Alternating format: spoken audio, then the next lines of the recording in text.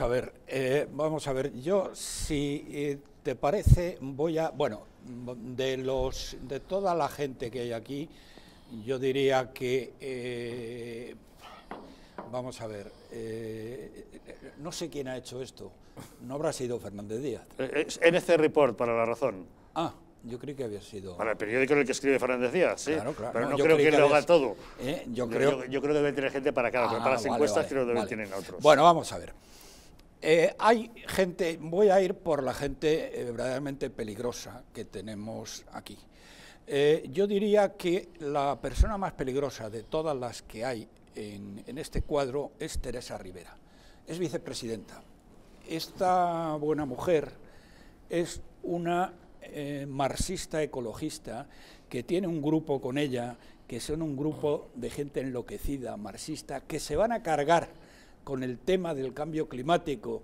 Bueno, ya ves el calentamiento global que tenemos aquí, que... un frío de narices estos días. Pero un frío, pero de narices. Bien, eh, esta señora se va a cargar la industria del automóvil, ¿eh? porque eh, España, mm, bueno, no voy a entrar en ello, la industria del automóvil, la industria del aluminio, la industria siderúrgica, ¿eh?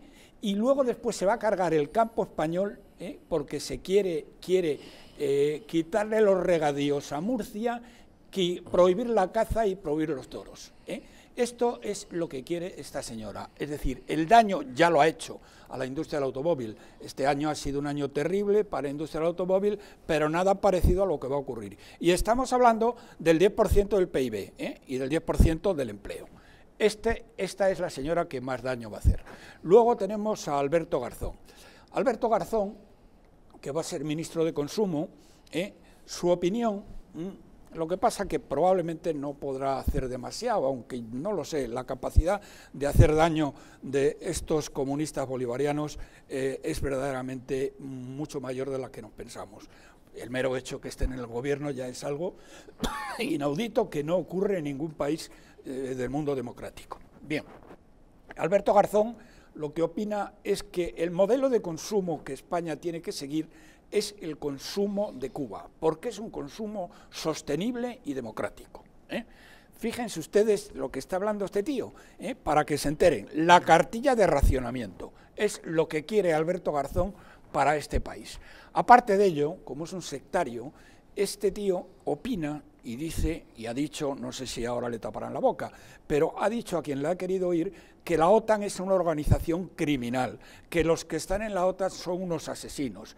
Ahora resulta que un gobierno que pertenece a la OTAN tiene a un ministro que dice que esa organización de defensa eh, de la libertad en el mundo eh, eh, y la diferencia contra nuestros enemigos, los yihadistas, etcétera, etcétera, son unos criminales. Y luego en la parte de arriba, muy rápidamente, Margarita Robles. Hombre, vamos a ver, Margarita Robles, quitando que no ha hecho prácticamente nada y que el ejército español está en una situación desastrosa desde el punto de vista armamentístico.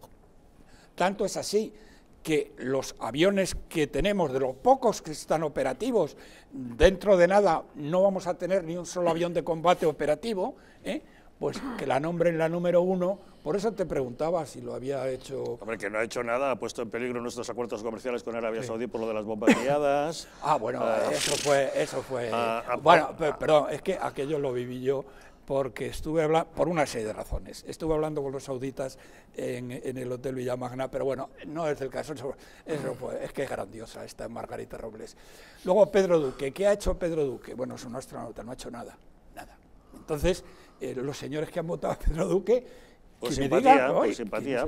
bueno, es simpático, no habla, no dice barbaridades, no habla con lenguaje inclusivo, Nadia Calviño yo creo que es eh, la mejor, eh, sabe sumar y restar eh, y es verdaderamente la única que en el gobierno sabe hacerlo. Y luego tenemos aquí a José Luis Escriba. Lo de José Luis Escriba es inaudito. Me vas a permitir, porque realmente este señor ha cambiado el poder, es un experto en infamia a cambio de poder. Este señor fue nombrado en el año 2013 eh, número uno, bueno, el presidente de la Autoridad Independiente de Responsabilidad Fiscal, que fue un organismo que creó la eh, Unión Europea porque no se fiaban, lógicamente, de las cifras del Banco de España, ni de las cifras del INE, ni de las cifras de las entidades privadas españolas. Bueno, bien, ¿qué, ¿cuáles eran los objetivos que tenía este señor? El señor Escriba. Los objetivos eran, los leo, garantizar el principio de estabilidad presupuestaria y garantizar la sostenibilidad financiera de este país. Desde que está al frente de la, de la IREF, ni un solo año ha garantizado el principio de estabilidad y ningún solo año ha, garantizado la sostenibilidad. Tan es así ¿eh?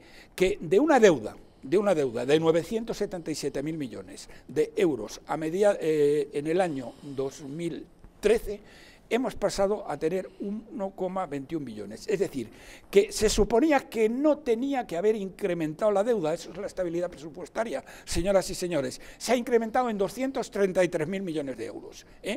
Y luego la estabilidad presupuestaria, el ratio deuda de PIB que subió en 3, eh, que tenía que haberse quedado quieto o haber bajado, ha subido en 3,1 puntos. Es increíble que el montón, hay un montón de juntaletras y de tertulianos que andan por las que ni siquiera se han molestado, si se hubieran molestado estos que lo mismo hablan del PIB que de la pantoja, eh, si os hubierais molestado juntaletras y tertulianos ignorantes en leer, en leer eh, la prensa, es decir, eh, en ir a las hemerotecas, os hubierais dado cuenta de quién es este señor, que es que de todos los institutos, o bueno, de todas las organizaciones que en España mm, hacen previsiones sobre lo que hace el gobierno, Escriba es el que más se ha acercado, es el, que más se ha acercado a las previsiones del gobierno. Y digo la última canallada de don José Luis, eh, que esto es lo que le ha valido probablemente el puesto. ¿eh?